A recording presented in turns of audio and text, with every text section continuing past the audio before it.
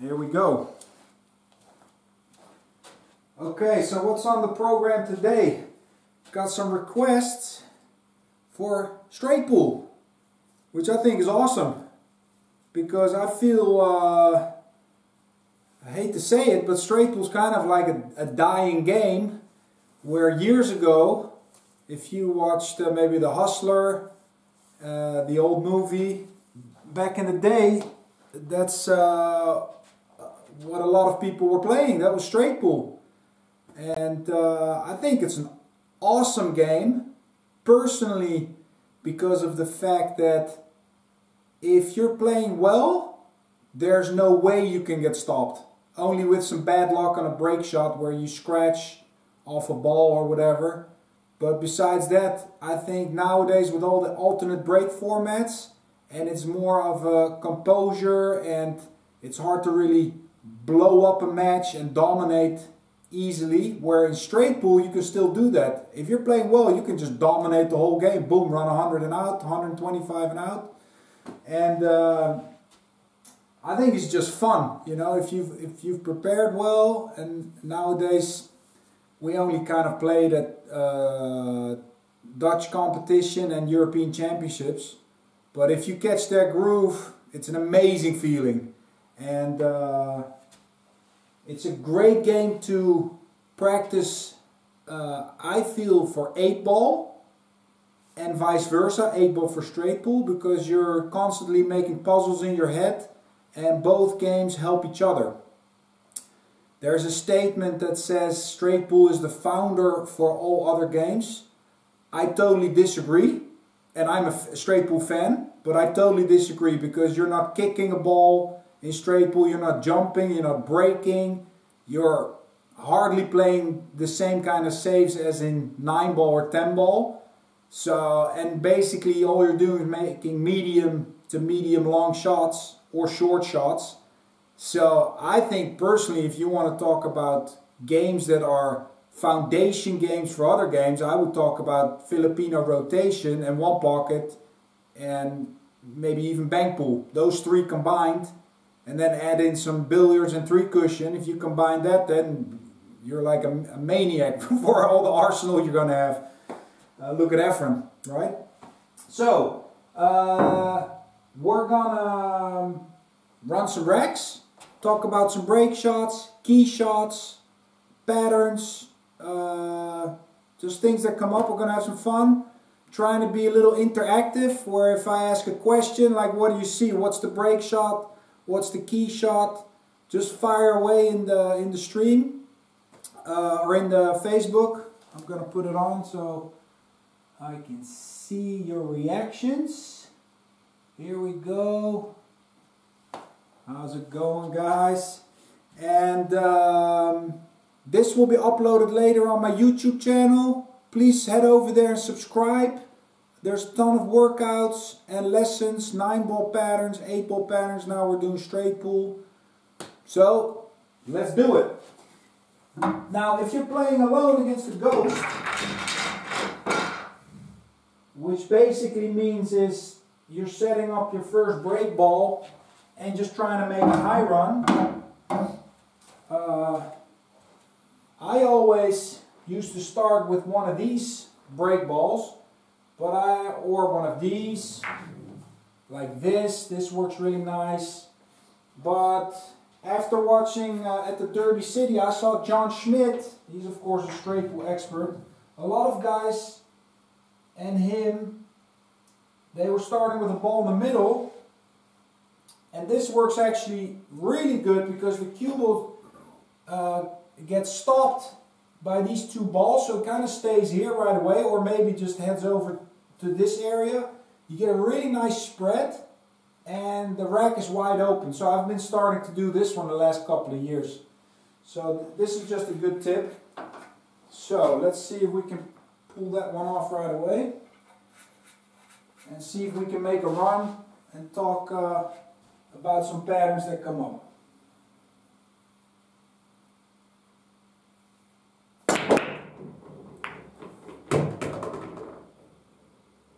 All right.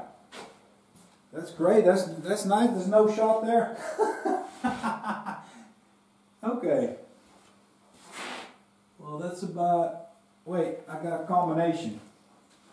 That's about as crazy as it gets there right away. But I'm talking about it's hard to get unlucky and stuff, but on the break shot, it does happen. You see most of the funniest thing happen on the break shots. So here, there's no secret to this. I have to try and make this 10-6 combo to keep my run going. Uh, now maybe for some amateur players, sometimes they focus too much if they're in trouble just by making the ball and then they run into another problem and another problem. I'm seeing already if I just make this ball, I might come back down table and have nothing again. So I'm thinking, okay, where can I put the cue ball a little bit where at least I'm going to have perhaps a 12 or the 4. So I don't want to hit this 100 miles an hour. I just want to focus on making the 6. It's a thin cut.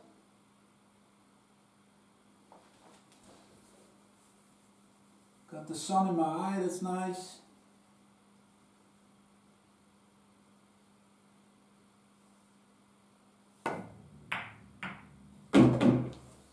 That's a nice little shot. So we're back in action. Okay guys, what do we see? The rack is still pretty closed. So I don't think I set up this ball really well in the middle of the table because normally you get a little more action. So this is a tough, tough little starter here. Um, so what I'm thinking right away I don't have many more balls to open up this rack. I gotta I gotta start moving quickly, right? There's there's not much to to choose from here. Everything's blocking each other. Um, if I would play position now on the 12 and I get out of line, I'm pretty much done. So I'm thinking I'm going to take a chance right here and I'll try to open up some more balls because otherwise it might be end of run. So I'm going to go in off the side rail and try to create something.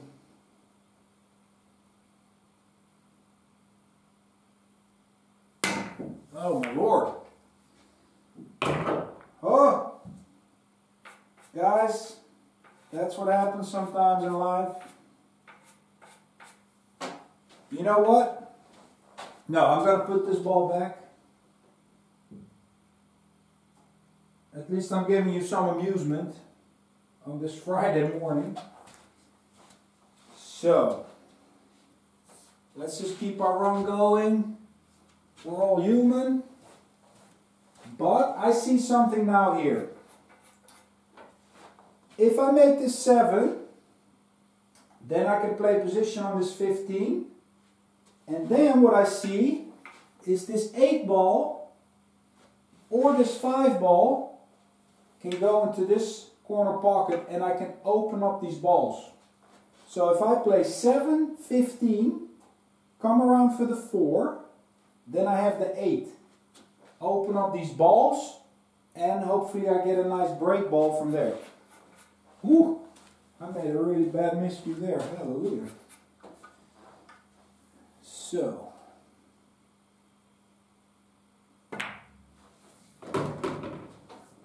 we've got to play for about the middle of the table.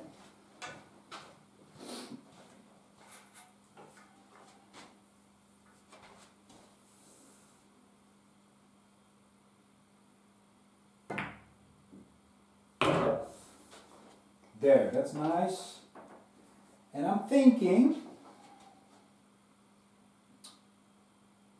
if I stop this ball, I can use the 8 and roll through these balls. And then this is what's called a backup ball or a safety valve.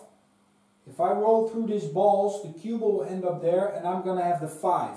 Or if I decide to draw a little bit, I still have the 5.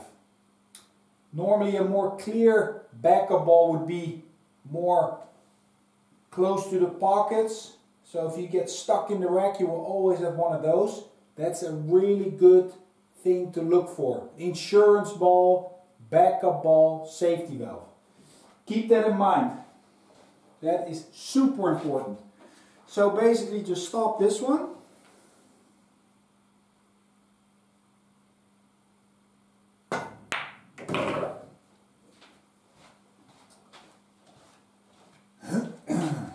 Let's see.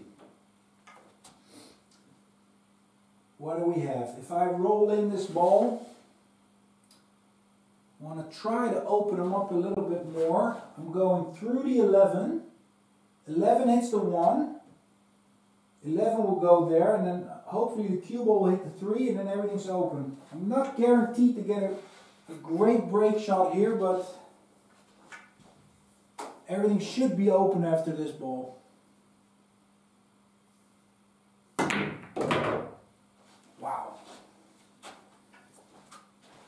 Greatest shot, but still I have that five, what I was talking about.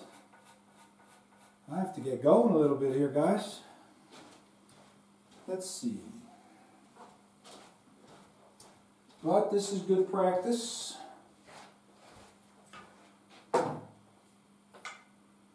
So, I see still a lot of trouble. I have I have to make a Tricky shot on the 5. These two balls can go there, but the 9 is blocking. And I virtually have no break shot yet, except maybe the 12 later on. So this is a, a tricky opening rack, guys. First I have to make this ball. I feel like a total beginner now. I was hoping for a little bit more open rack right out of the gate. I have to do all kinds of Houdini stuff. But that's how it is. Oh boy.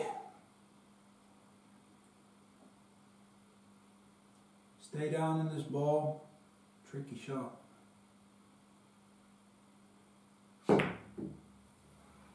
Yeah, that's pretty good.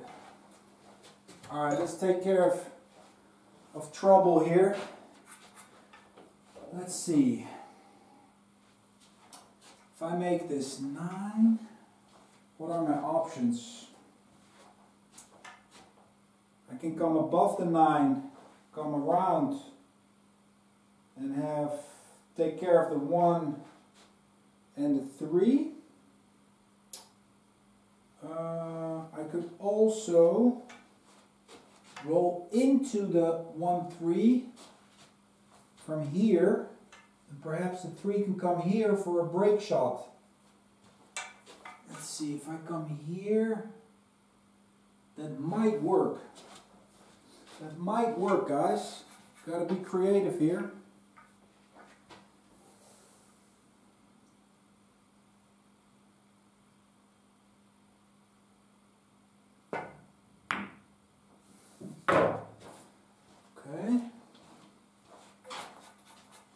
have to create something. Hit the side of this one ball.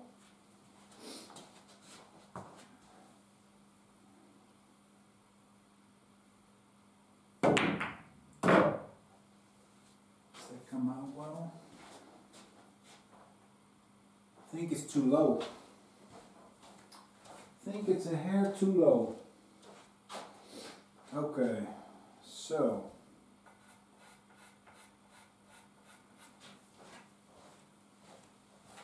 What do you guys see? Any suggestions?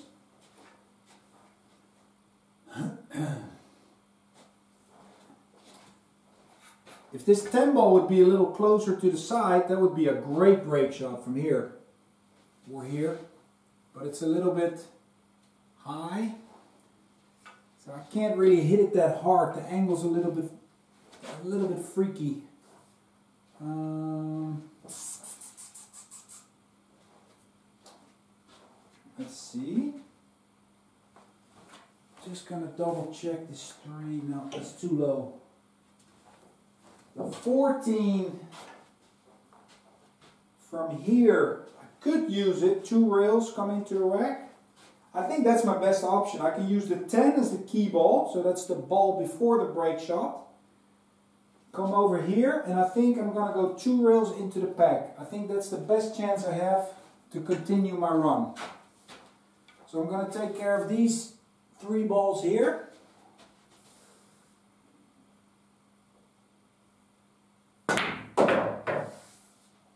Come back for the 10 after the 3.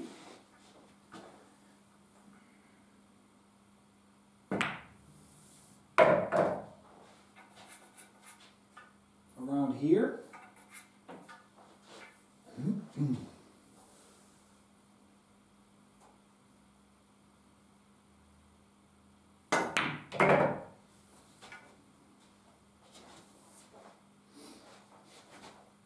Just have an angle. And then I want to try to come around here. Just bounce off the rail a little bit.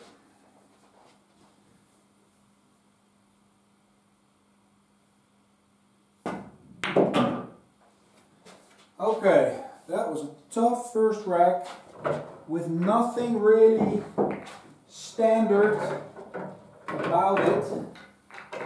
And I hope can start seeing a little bit more standard straight pool stuff. But that's how it is sometimes, guys. If you're maybe struggling for a little bit in a run, you have to use all the knowledge you have. And sometimes you're going to end up with a really weird break shot. But here's a good tip that somebody uh, said years ago. I think it was, uh, I'm not sure if it was Willie Mosconi or another great straight pool player. He was asked, What's the ideal break shot? And he said, Kind of any shot with the right angle can be an ideal break shot. So that means even, for example, if you have a ball here and you get the cue ball under it with a right angle and you blast off the side, that can be an ideal break shot. Now this one, this is not an easy shot, but I have a good angle. So if I come two rails around, hit the back of the stack, it could still be an ideal break shot. You know what I mean? So don't put too much pressure on yourself that everything has to be perfect and you always need this break shot right here or here. It's never going to happen. You've got to be uh, adapting to certain situations. Okay. So I want to try to hit the rail there. Got to put some speed on this.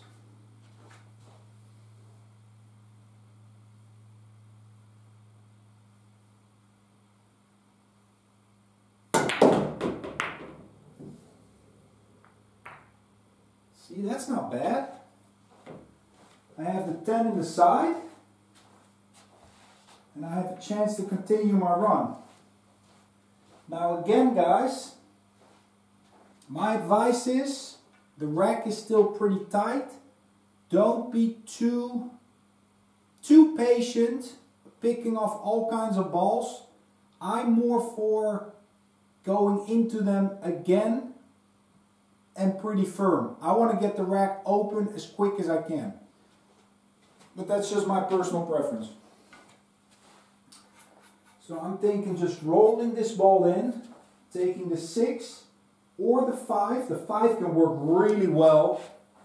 Come into this little glove here and open up a bunch of balls.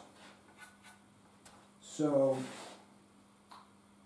I could play I could play 10 13 1 and then I'm gonna have the 6 or the 5 and blast in them again.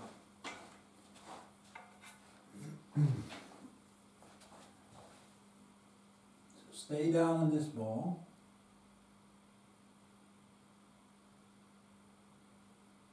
Okay, that's a little bit too hard.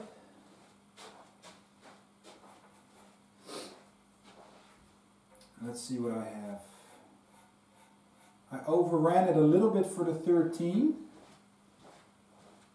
But I can still draw back into here and then play the 6-5 or if I come good enough I can play the 5 right away. I think that's what I'm going to do. I'm going to try and draw into the 1 because I'm always guaranteed for the 6. I'm, if I hit it on this side I have the 12. I still have many good options. I can't really stop it for the 1. That's why I don't want to do that.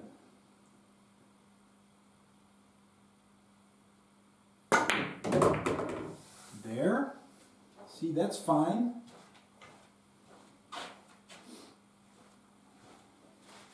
And now you can choose whatever you want. You can shoot the 12. Nice and easy, go into them. I think that's what I'm going to do. Because I said I don't want to wait too long. So I don't want to break my own rule. Let's see. Yeah.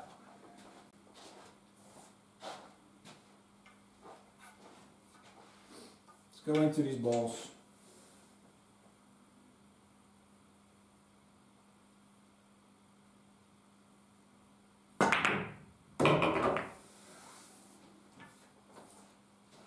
Pretty decent. Okay, here's a question.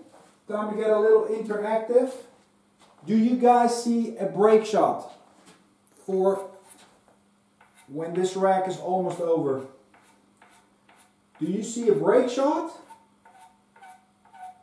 And do you maybe see a key ball? The key ball is the shot before the break shot. And ideally, a key ball would be a stop shot. If you can play a nice pattern or find a nice pattern, your ideal situation is stop, stop for the breaker. So the two last shots would be very little cue ball movement. Write down if you see anything.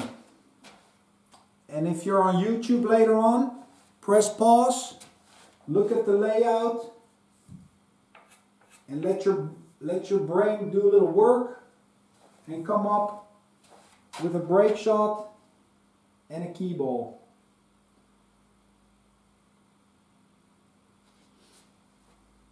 Ooh, everybody's lazy this morning. No replies. All right. What about uh, what about the five guys? You like that? Too close to the rack. What about the three? It's too high. What about the six? Six is nice, and the 15 is nice. Now what about the key ball? Do you guys see a key ball? Remember the key ball? The one ball. If we kind of stop the one, or just bring it here, that's really nice for the six. So that's what I'm seeing right away at this moment. I'm seeing options with the 1 and the 6 and perhaps the 15. But I also see a little bit of trouble. I see these two balls. They won't go here, but I can make the 11 there. And I can use perhaps the 15 to come there. And I still have some congestion on this side. Now, if I make the 5 from here, I can open up these two balls pretty nicely. So I think I want to do that pretty fast. Let me think. And this is where your 9 ball stroke can come in handy because I can play three rails, boom, boom, boom, and come here for the 5. So I don't have to baby roll it. I can let my stroke out and play around the table for the 5 ball.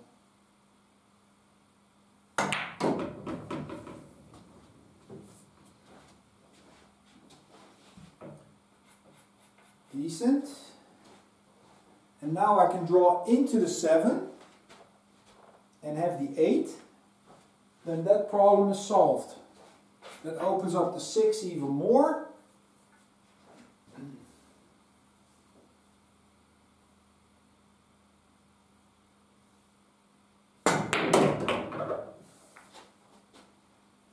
That was the only thing I was a little bit afraid of. Okay.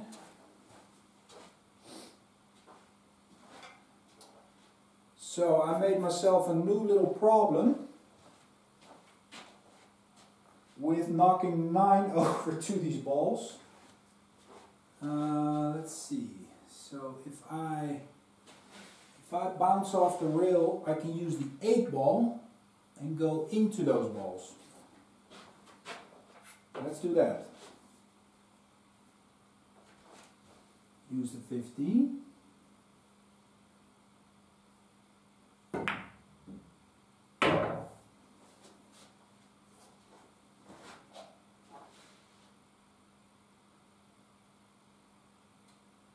Soft. Um, I think I will make contact with the 9 and then I could have the 2 next. It's not ideal guys. I could also use the 7 now and go into them like this. I think that, that looks better.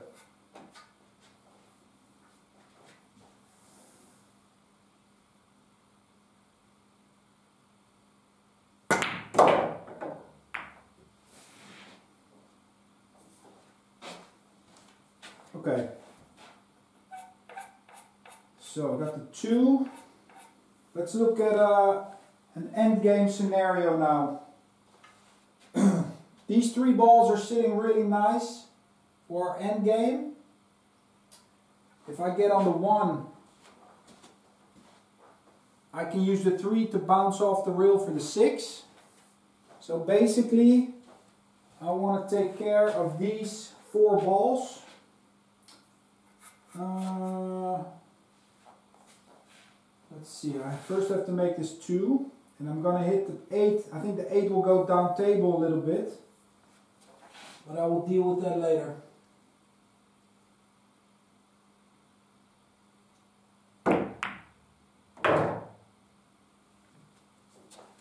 Okay. Interesting developments. So what do we have? I can make the three. I can make a combination. Uh, and what's also a nice key ball, guys, if I fall on this 9, I can use the 11 as a key ball. Just bounce off the rail and come here for the 6. So, because I might have to shoot this one ball now. I have to produce another key ball to play position for the six. So let's see. Uh, yeah, I think I'm just going to roll the combination in, guys. Use the three. That ball will be here, and then come down the table for the nine, and then the 11 off the rail to the middle of the table.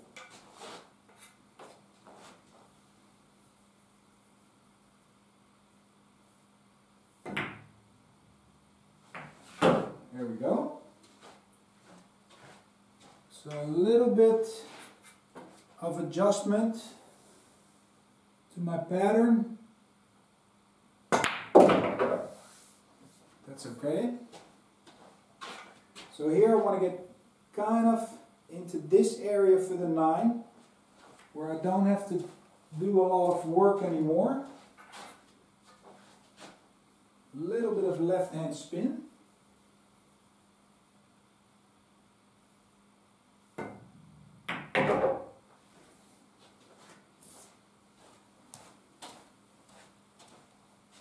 bit soft. I think I can still do it.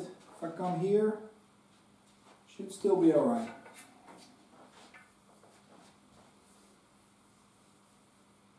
A little bit of right spin. And now off the rail towards the middle of the table. This is really where you're going to train your speed control. These shots are critical. A lot of amateurs underrun or overrun their speed on these shots.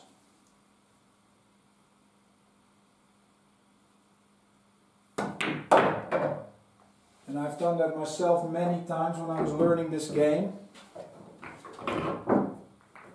So, a little bit of adjustment done.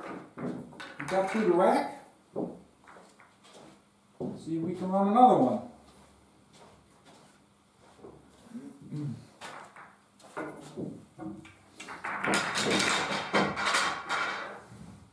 So I think we're on a run of uh, 26.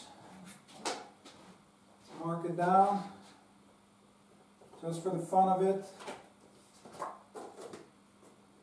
There. Now, when you've seen me play straight pool, you've seen me do this a lot on break shots. Why am I doing that? I'm finding the 90 degree angle of the cue ball after it makes contact with the break shot. So what does that mean? Cue ball will hit the six there. Where's it going to go after that? That's what I'm trying to figure out. 90 degree angle determines that. You take one leg of your 90 degree and this is the second leg. So it's there. That's where the cue is going to go. And a mistake I used to make before is I put my stick here, but that's not how thick a ball is. A ball is actually this thick, so you have to take the middle of that, which is there. It's not next to the 6, it's a little bit out. So I can see I'm to hit the low side of the 13. For me, when I hit the low side of a ball, always draw. Okay? If you're going to hit it full in the face, always use a stop shot. Otherwise, you're going to get stuck on that ball. You want to punch it off that ball again. And don't baby it. Don't hit it 100 miles an hour, but don't baby it. Medium firm stroke, what you can use on your technique. Okay? If you feel you're starting to twitch and turn, then you have to hit it a little more clean. If you have a great stroke, you can put a little more power in. Okay.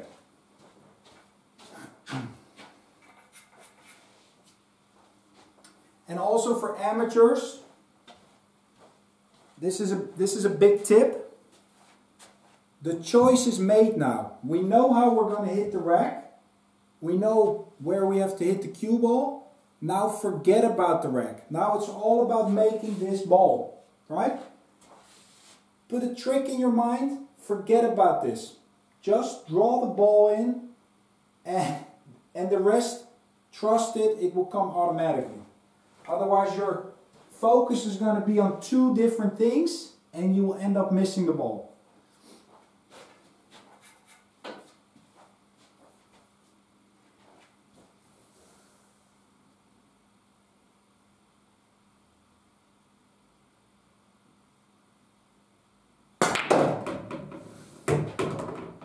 That was with a little bit of draw. I'm getting pretty, pretty tricky layouts. However,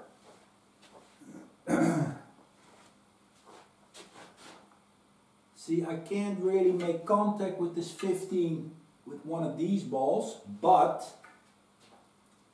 I can make this 15 ball rail first pretty comfortably pretty easily. So that's what I'm going to do. I'm going to go rail first, and I'm not going to hit it too hard because then I end up here.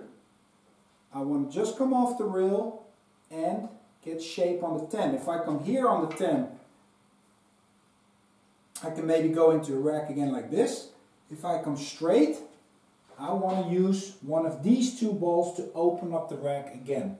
That's how I'm looking ahead of what's available so just want to here. Just a little bit of right spin.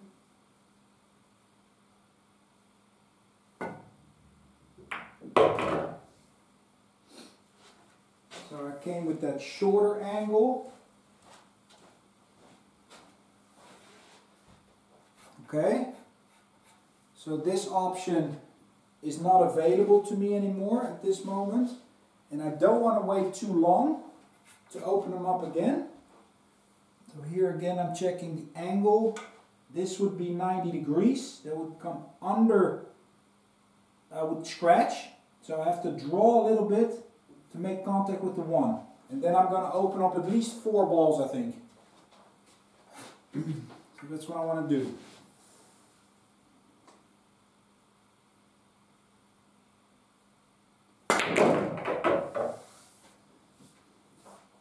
Okay. See, that's why I'm, I'm checking a lot that 90 degree angle to see where I'm going to make contact. And then basically it's not about luck or chance. It's about actually seeing where the ball is going to contact other balls and I can kind of visualize and predict what's going to happen. So if I'm unlucky there, it could also be I didn't look good enough, okay? So do you guys see a break shot? Anybody awake over there? do you guys see a break shot? Ah, we get some more comments. That's great.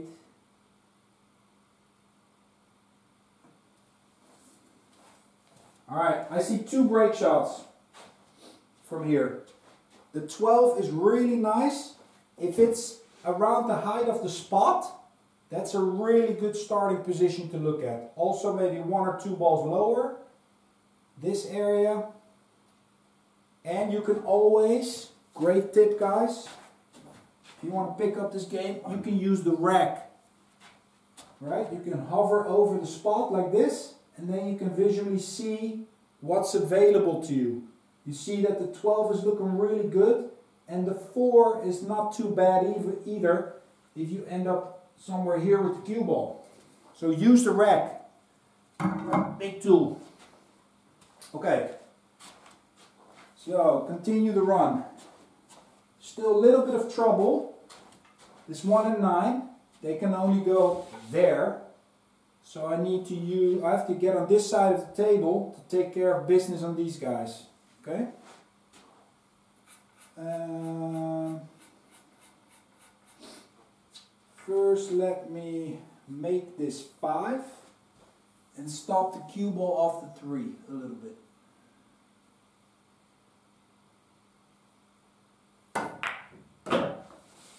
There.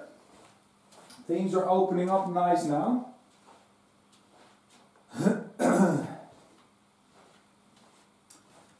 Let's see. The 1 can go there. Um, then I think that's what I want to do. It's time to take care of these problems.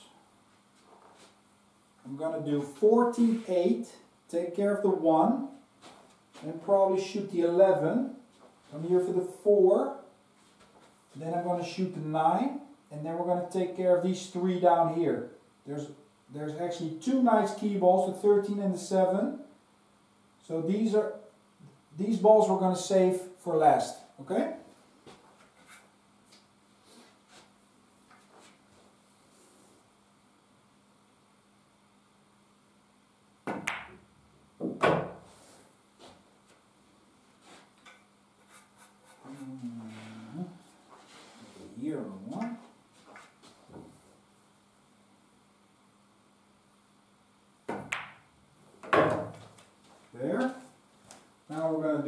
Do 111.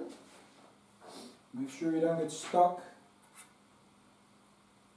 I just playing here for the 11.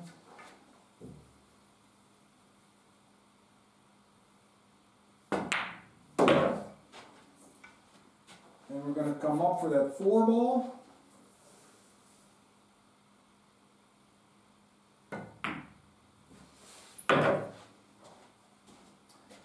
And now I want to play shape for the 9. And I want to be above the 9. That way I can go two rails around. I can go one rail up. It leaves me many more options. If I get straight in on the 9, now I don't have as much freedom and I might even hit the 12. So give yourself some room.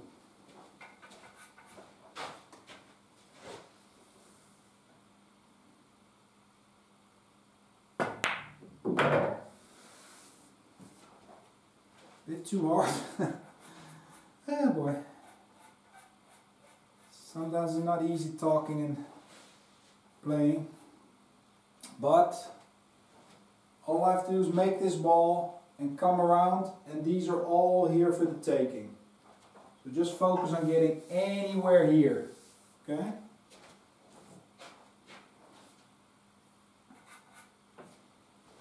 But I made it a little bit harder on myself and I want to keep this run going.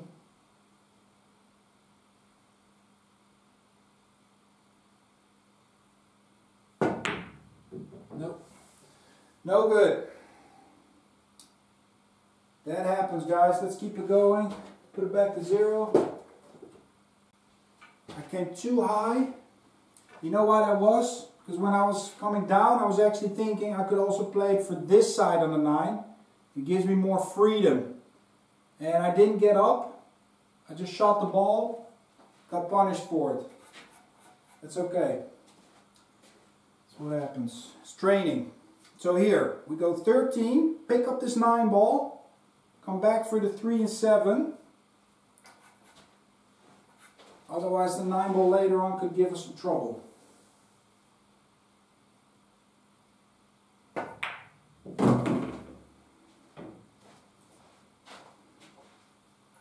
Two rails around. And if I get straight on the 7, that's nice. I can use the 3 as a key ball.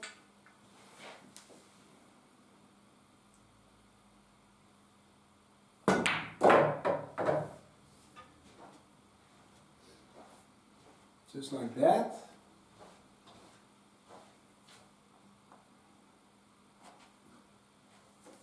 So I'm going to do 7, 3, and then the 12 is a breaker.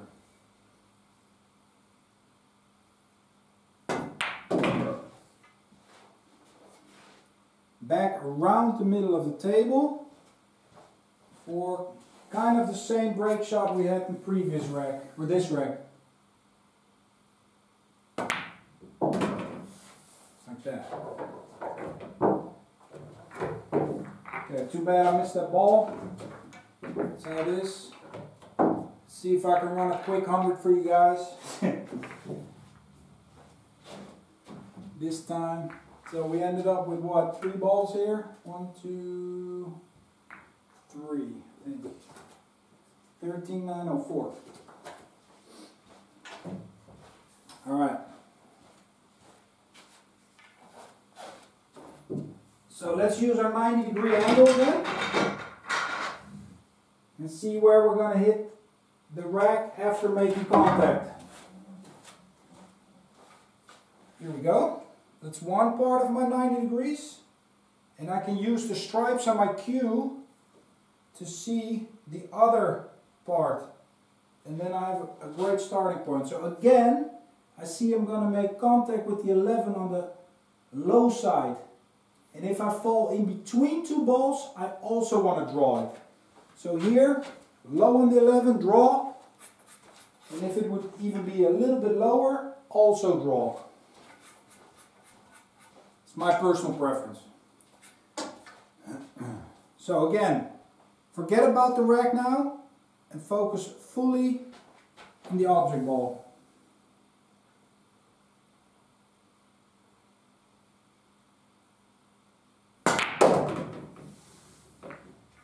That's what happens a lot.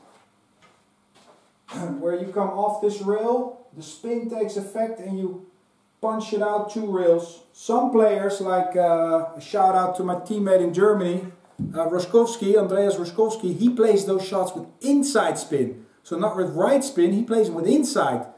Makes the shot a little bit tougher, but what he does actually, he draws them off the rail, and then the spin brings them a little bit back out to the middle. I mean, if you see it, it's really pretty. Uh, I personally think it's a little bit dangerous for the shot, but if you master it, why not? You know, go for it.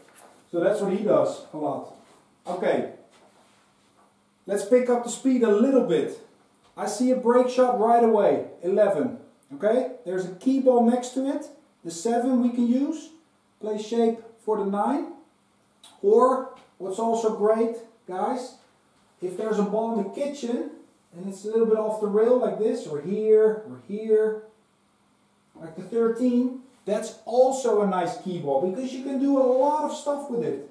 If you, if you come here, you can come off the rail and you're already on the right side of the table coming into the shot on the break shot. So don't be afraid to leave that as a key ball, for example. So, there's also some trouble again. 2, 5, 10, this little group. Let's see if we can uh, open up those puppies uh, as fast as possible. I see 15, 6. If I get under the 14, I can open up these guys. I have an insurance ball there and probably even the 4 ball. Let's go for that.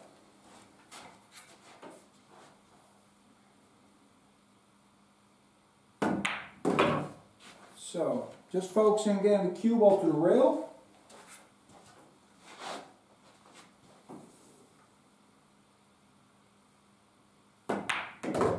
There. And now I want to see ideally I like ideally it would be great to, to flick the, the 10 and open up these that everything's open. But if I just touch the 2 and 5, these balls are there. I can use the 8 ball to come there. So just touch the 2 and 5 is good enough, I think.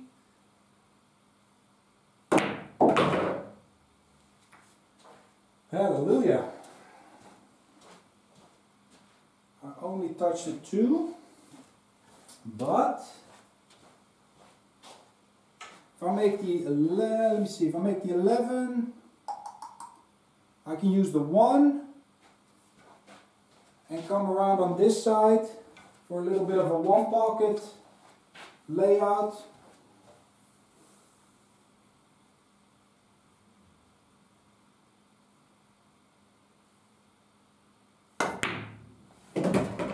There, And let's see. So I got two clusters of balls. Me see. Don't want to be careless here. That's when you get into trouble also, guys. I use, if I use the 8, if I use the 8, just come up here, because I love this 9 ball. I just come up here, I can use the 3 or the 10. And then these two balls go in that pocket. So I should be alright.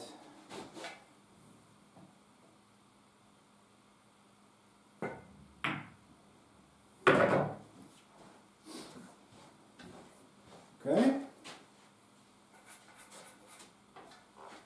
Draw up there. Let's see.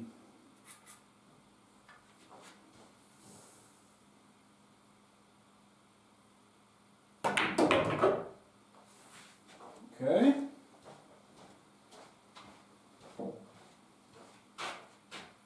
I can do two things. I can run into the five, or I can play shape here on the three, come around and play him that way. Personal preference. Not too big of a deal. I'm just going to stun it up and play it around it. There. And you see my end game starting to develop. I can pick up these two guys. And then I can pick up these two. And with this one I can do a lot. I can play a really great shape for the 7. Or I can even pick up the 7 first. Many options. So I've played everything wide open now.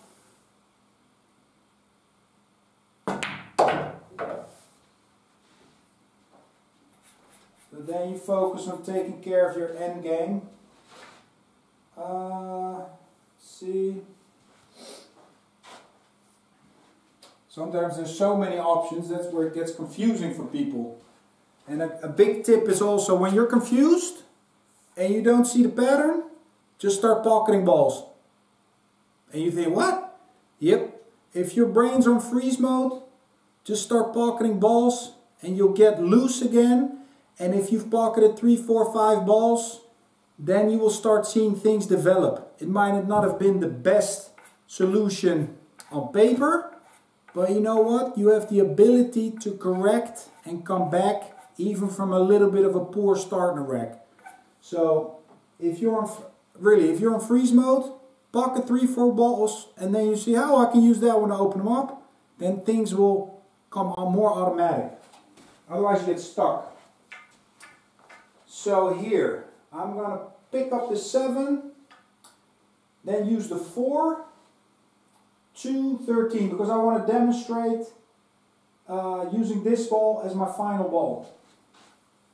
So, just come to the middle of the table.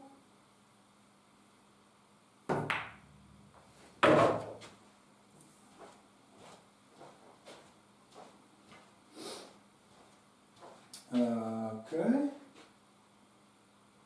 See, many options here. I could even play 274. I can play 742. Let's play 274 this time.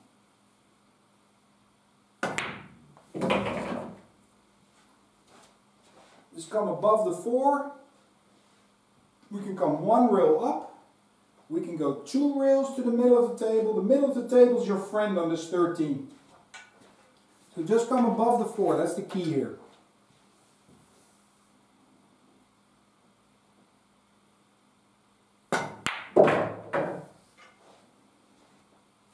Okay, that's good. I can go around the 9. One, two, and come into the shot on the 13. I like that too. Remember from the 8 ball and 9 ball pattern lessons. A little bit of high right.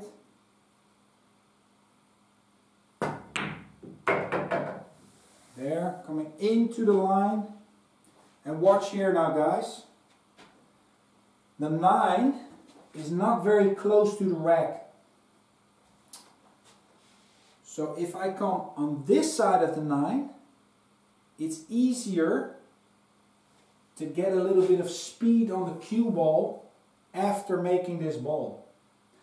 The further away the break balls from the rack, it becomes harder to open the rack. We need a really good angle and these inside angles like this, staying on the inside of the ball, is a very, very good solution because you can hit this ball thinner which means you, you have more energy in the cue ball to keep going and blast open the rack. So I want to go two rails and come to the inside of this 9, okay? Around the side pocket area here.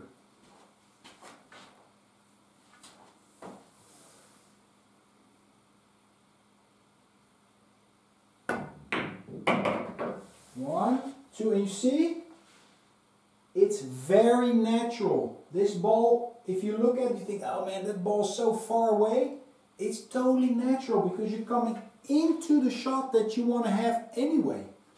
So keep that in mind. That, that's also, if the ball's here, even sometimes if it's on the spot, right? If I'm here and it's on the spot, I can go there. If I'm a little bit straight, I can draw it back. If I'm here, I can go one rail two rails, same thing, many options, okay? So don't be afraid of that. okay, so we ran another rack. That puts us on 18. So that's only what, 600 more for John Schmitt's record? You guys have time today? Let's get that going. No. Okay. So my theory and advice, you're on the inside of the 9 ball. This would be parallel, this line. Okay, so you're on the inside of that. And my advice is for these kind of shots, follow. Your mind is free. You don't have to think about anything.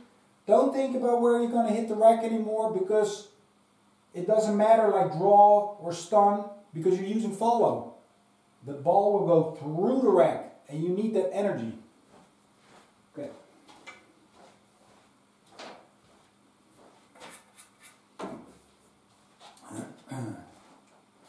So once more to sum it up because it might be confusing. If you're on this side of parallel, then you want to look at, am I going to stun it or draw it or maybe a middle ball? If you're on this side, follow. Forget about anything else, okay? Of course there's exceptions, but that's the basic rule. And use a good top spin so it, it keeps that momentum going. Here we go.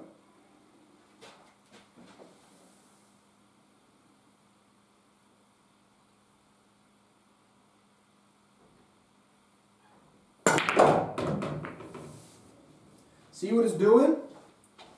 I make contact with this side of the rack, the high side. The ball, if I would stun it, it would go there, but because the top spin, it kind of does this and kills. Beautiful spread, great control, and I'm back in business. Okay? So, immediately I see a group here that's still a problem. I see a break ball, the 8, but I cannot get to it very easily because of the 6. However, there's a combination there. If I knock away the 6, I can, uh, the 8, I can use the 6 as a breaker. So that's just an option. Um, batty, batty, batty, batty, boo. These two balls are also blocking each other. The 1 cannot pass the 12. So don't wait too long with taking care of these two guys. It's a big thing. Uh, I see a great key ball for this breaker. However, however, I think I want to use it now. 14, 12. Stop the 12 because it's a great connector to this 2 ball to open up this problem. I can go into these balls and open them up a little bit more. I think that's a pretty smart play because if I go into them now, I could get stuck on all these balls. I'm not too sure about it. I could. I could or I couldn't. Let's do the other one. Let's do 1412 to demonstrate. Here we go.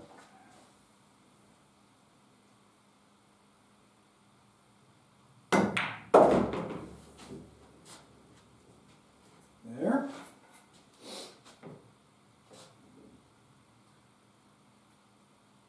Just bounce off the rail, almost where the 12 is now. And then I've taken care of one of these two balls also.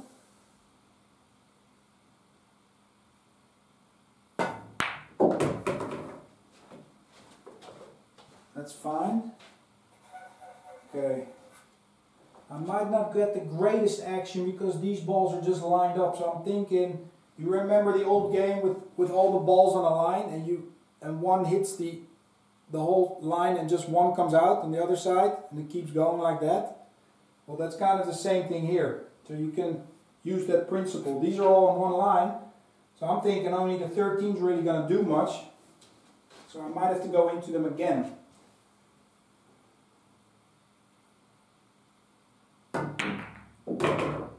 Oh boy. Okay.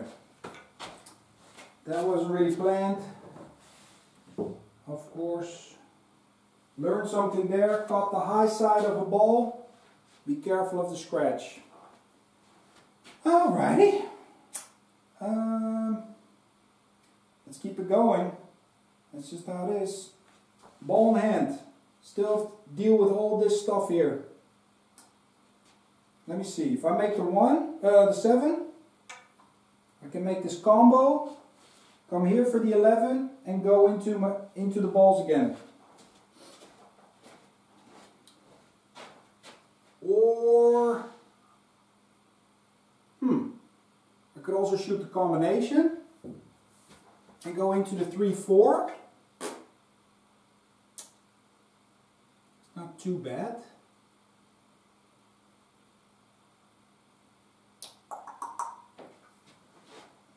Think that's what I'm gonna do.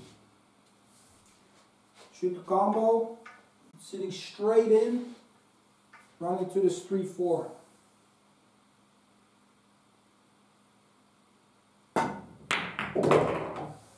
There. Six came out a little bit too much. So I have to get ready maybe for another break shot. I see the five passes to the corner also, that's something to watch out for. Uh, I have a combination 10-15, so this looks like it's cluttered up, but it, it's not really. This is a problem. So I might want to shoot this five ball right away. Because it's not the hardest shot and I take care of all the problems.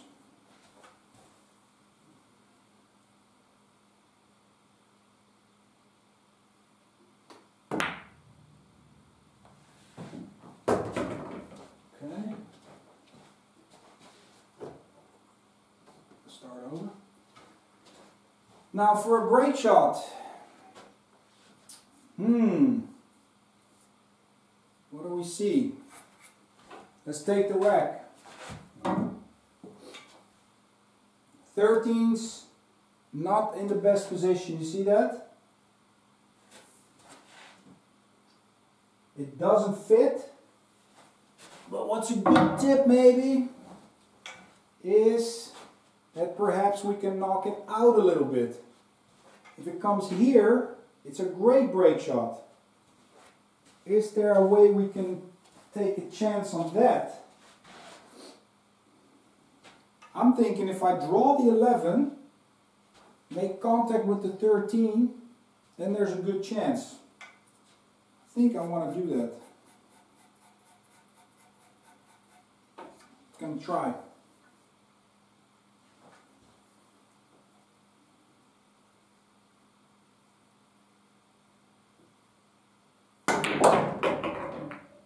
That's nice. That gives me a new breaker. Now I can shoot that combination. And I still have to be careful guys. These two balls are kind of blocking each other. I can use the 3 to play here for the 6, then the 7, but I also need a good key ball for my 13. I could use the 2 ball perhaps, the 1 and the 2. If I make the 1 come here for the 2, I'm sitting really nice for the 13. So let's see, I'm going to make this combo, play shape for the 3 ball I think.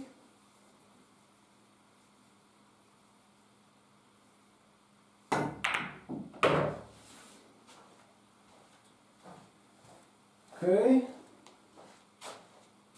Interesting. So what I'm seeing here, 10, 3, 6, 7, 4. then it's decision time on the 4. Do I, I want to play 4, 1, then 2. Do I play the 4, come here for the 1, or come here for the 1? That's what I'm not sure about. First I want to take care of the first couple of shots. 10. See, I can use the 3 to come for the 6.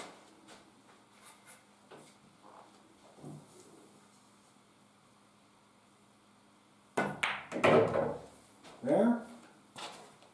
Stop, stop. You can find stop shot patterns, then you're playing really good straight pool. Alright, decision time guys. What do we do? Pretty slick new cloth still, so I'm going to get a lot of action this way. Think I can do it though. If I come here, I can just go one rail there.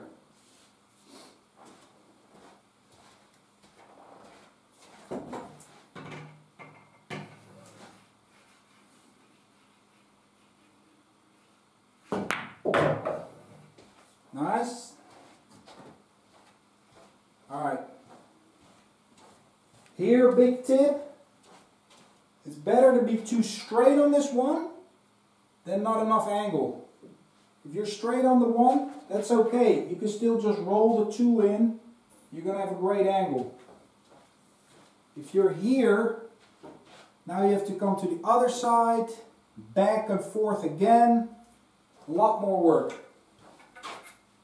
So try to come here.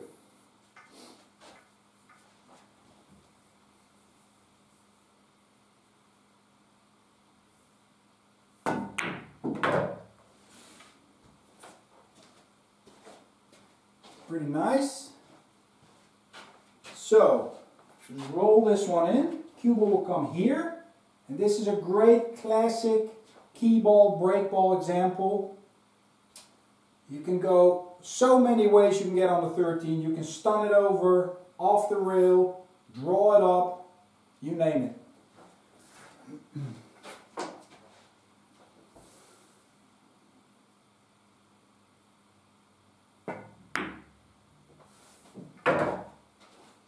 There we go. So I'm a little bit low, so this time I will choose to go off the rail.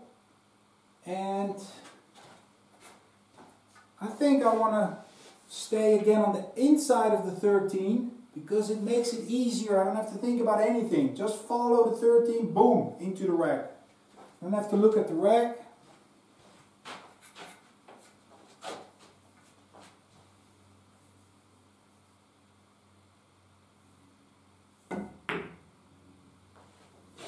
There. I think that was about 12 balls.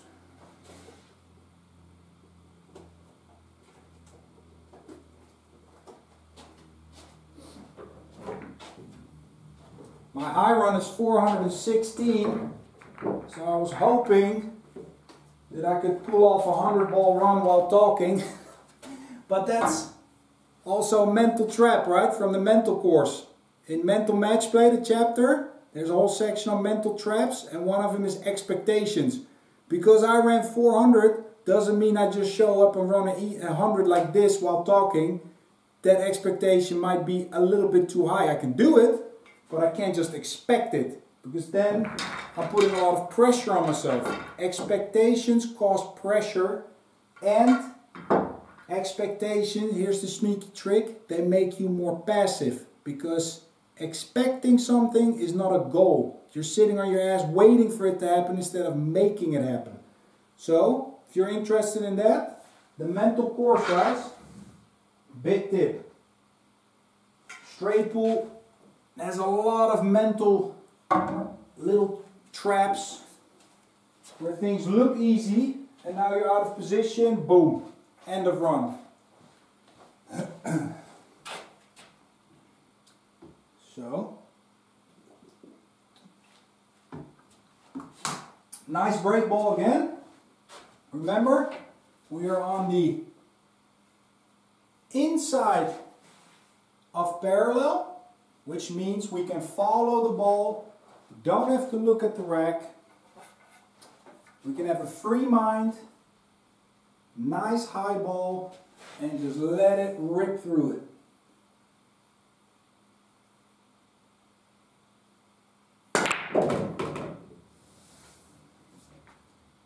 That happens.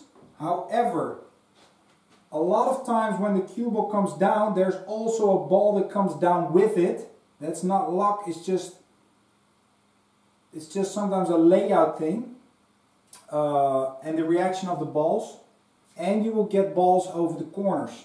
So, I'm a little bit low, but I have good recovery shots. Uh, so looking at this layout, I have no break shot yet. Maybe the 6, but I have to get all the way here. Not easy. Uh, the 15 is a little bit too much here. If it was here, it would be good. Mm. However, I can use, for example, the one ball to push the eight ball out a little bit. That would be great but I'm still stuck with these three balls. So, let me see. I can use the 4 to get really nice on the 1. Kick out the 8, that's one part of the puzzle. Maybe then I can use the 2 to draw into these two balls, or uh, three balls. So first I have to make a recovery shot, which I can use the 10. I think I will just let my stroke out, boom, boom, boom. Try to come here, not baby it, I can use the 4 or come back for the 6. I like to let my stroke out a little bit on these.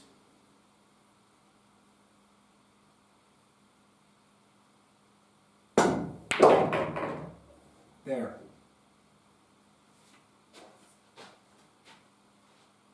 Um, let's see.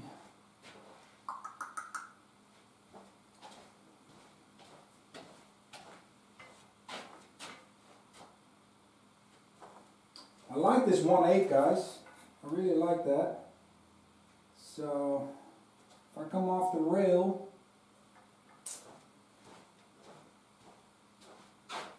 come off the rail, try to put the cue ball where the 4 is now.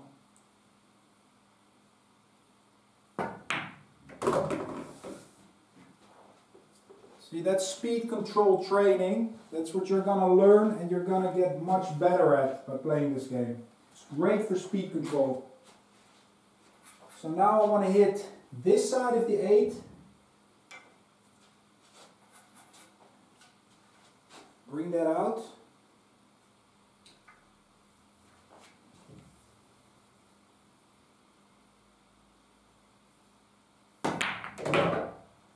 There. Let's see. Still have a problem. I was hoping I was I was hoping I could get an angle right away in the two to draw into them. I don't. Um, so I can go into the 14 with the 6. If I get on the 6 nicely, I can do that. Uh, yeah, I'm just going to draw it out.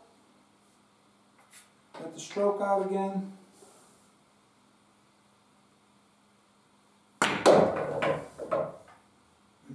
Probably use one of these two balls. That's what I was thinking.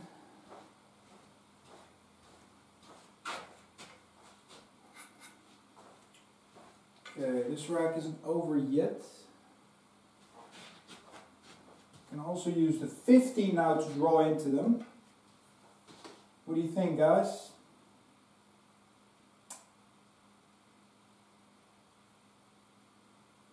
Not too bad. Six could be a little bit better for control. So if I get here on the rail, just a little bit easier, I think.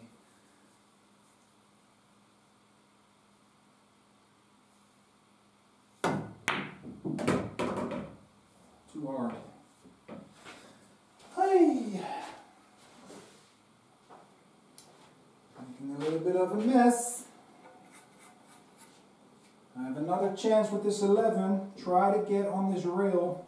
It's the key now.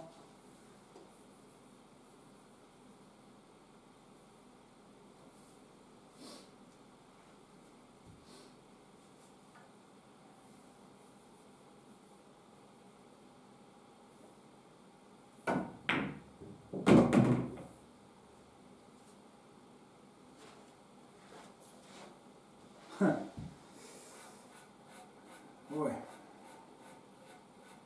Making a mess a little bit here.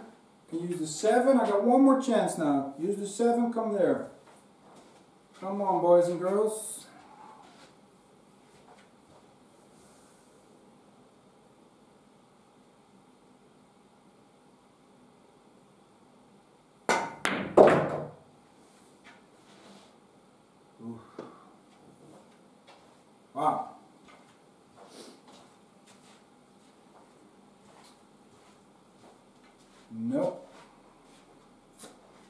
So, plan B, I have to use the 8 to go into them and perhaps I can get the 14 to become a new break ball. Stun it over.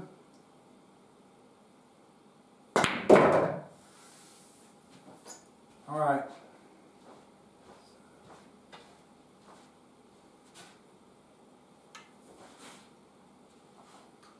So I think here, guys, this is interesting. If I just hit the 14 and the 14 doesn't hit anything,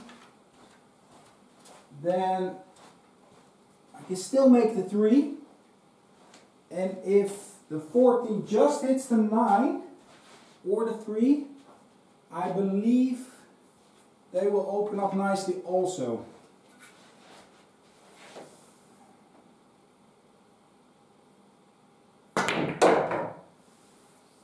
Okay, 14 is a breaker. I have the 12 and I was going to have the 15. So, another decision moment. Let's hit the 9. 15 is a backup ball. If I hit it really sweet, they're going to open up.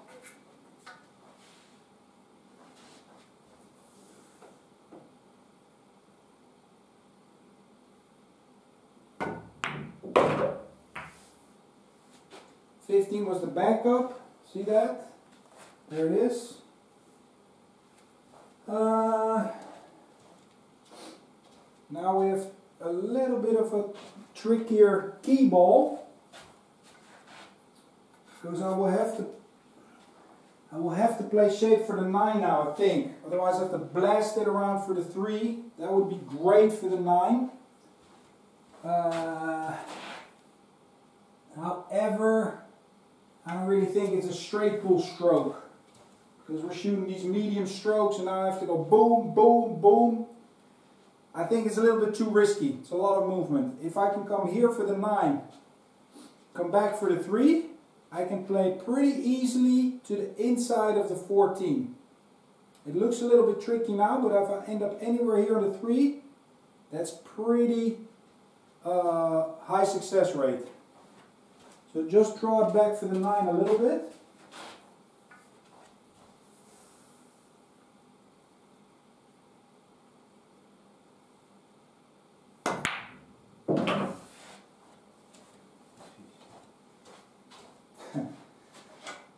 too much. It's okay. Draw off the rail, come here. Make sure you don't hit that 14.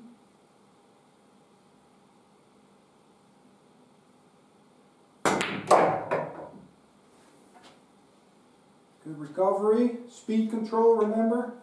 And here, now, big tip, if you're just using follow, you're coming too close to the 14, you could end up here with no shot.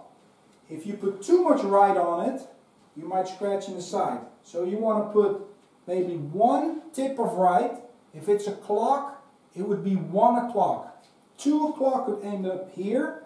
12 o'clock here. 1 o'clock you end up on this diamond and come back out. Speed control again.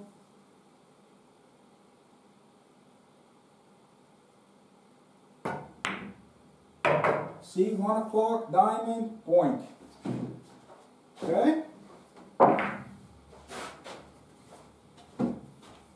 We're on the board. We've got another nice break shot on the inside of our line. 14 balls.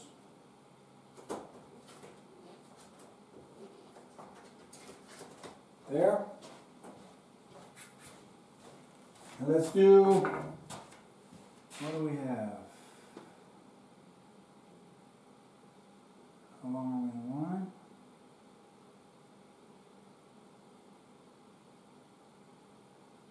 Let's do one more rack, guys.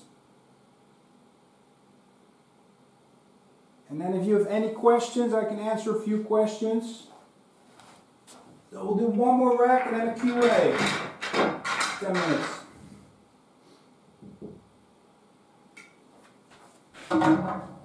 Okay. So this guy's a little bit low, but because I'm still on the inside, I can pretty much close my eyes, follow it, and it's freedom. Put a nice stroke into it. I don't have to look at the rack. Just hit them nice and crisp with enough follow.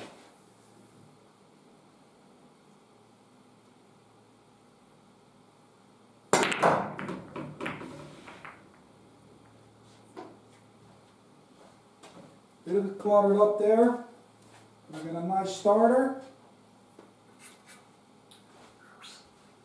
Five still goes, so that's good. Maybe the 13 as a breaker. See if we can make anything else happen. I think I'm gonna play 15-2, get this 5 out. See if I can open up something. The 7's laying really nice to open up this. And the 6 is a backup ball. After I come in here, I can shoot that way. That's what I'm thinking I'm gonna do. That looks even better.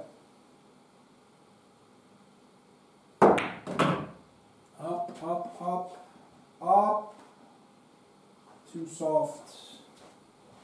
Speed control, guys. Let's see. I really like that 7, so I'm going to try and draw back for the 2 again. Glaze, uh, glance off the 13.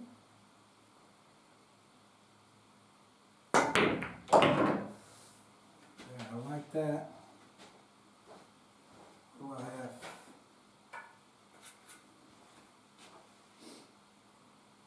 Already a breaker, but I still need to open up this shizzle. Uh, no, I like that seven enough.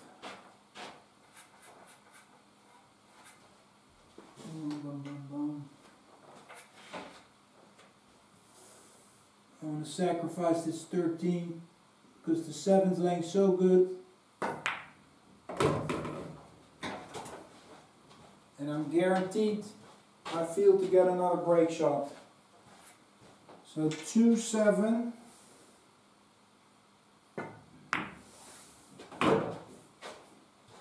Six is there. I want to fall. If I hit the one, the one's coming out.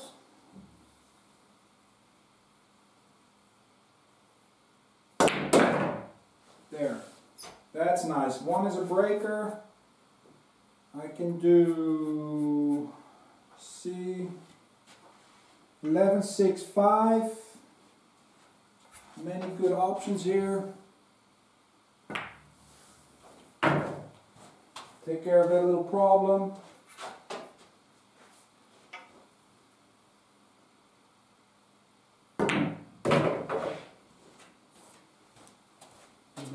skip. Okay. Five three.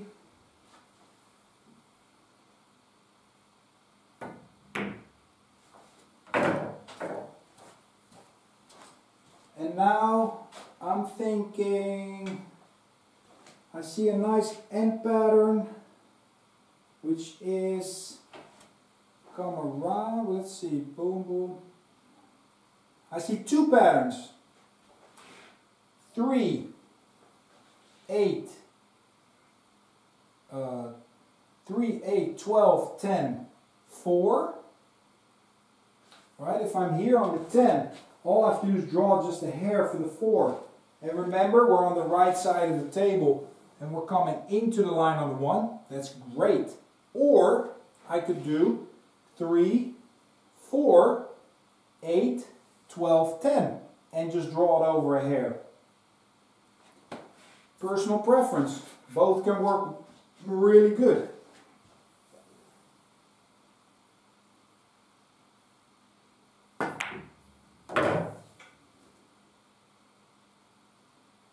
Hmm. Uh, see. I like 8, 12, 10, 4.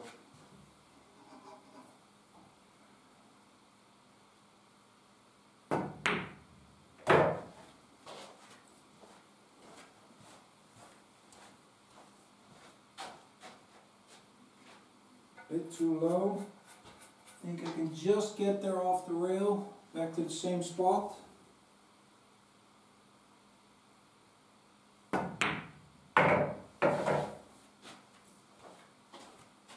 Come here.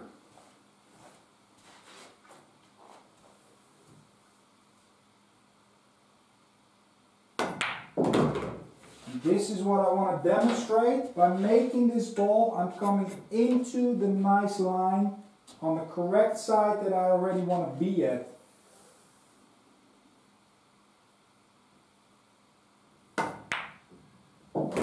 See, I'm coming into that line and I have a really nice break shot. Alright, I hope you learned something there. That was uh, challenging for me. Coming right out of the gate with a miscue. it caught me off guard a little bit. But hey, I got some tricky racks, so it was interesting. It wasn't just tapping away balls. Um, and uh, yeah, uh, let me hear some questions if you have them. Uh, woo! Nice comments, guys. Any questions? Uh,